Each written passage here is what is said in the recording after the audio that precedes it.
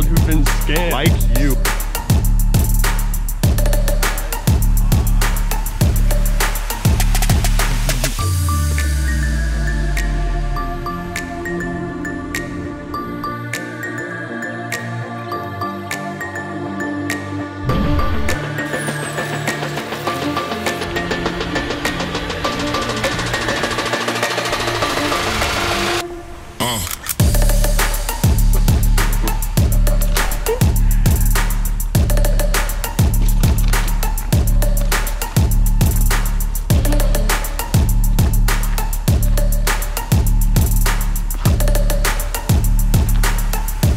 Yeah, yeah.